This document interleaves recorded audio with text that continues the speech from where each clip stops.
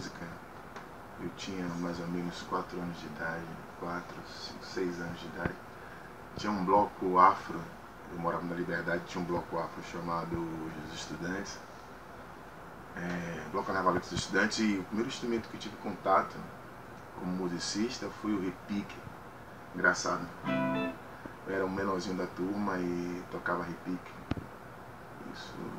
da Liberdade. Tem o primeiro contato com músico, esse música profissional. Aí aos oito anos é, eu comecei a tocar violão. Foi por opção assim não, né? Porque era muito brigão, assim, quebrava o pau na rua.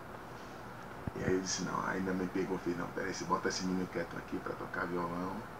Isso sem falar que eu venho de uma família de músicos. Minha mãe é ilhéense, meu avô era professor de violão em Ilhéus. Minha mãe também toca violão. Minha mãe toca, canta. E a música sempre teve presente, né? Lá em casa.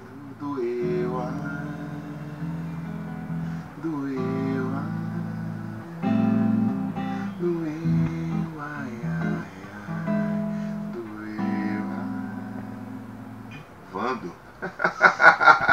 Minha mãe me deixava trancado, coisa impressionante isso. Aí eu passava praticamente 4, 5, 6 horas ela passando roupa e eu tocando violão. Aí eu fui tomando gosto fui tomando gosto, comecei a, a estudar mais, aí já não precisava mais sair de casa, eu queria tocar violão. O violão não era meu, não era de minha irmã Alice. Aí ficava tocando violão, já não saía mais, ficava tocando violão. Aí vinha aqueles elogios, né? Pô, ele tem dom, ele tem dom pra esse negócio. Aí eu fui, fui tomando gosto, comecei a comprar aquelas revistinhas, não sei se existe mais, se existem mais hoje em dia com essa coisa da internet. Mas aquelas revistinhas que vinham cifradas as músicas, e aí, pô, era fantástico. Aí eu ficava o dia todo tocando, aí me preparava pra noite, chegava, montava, pegava o violão e fazia fazendo serenata para aqueles mais, pros mais velhos. Pô, esse menino é prodígio, tá, não sei o que. E eu tenho um irmão, eu tinha um irmão, Deus eu tenho um lugar, Chico, que ele tocava também violão, rapaz, o cara tocava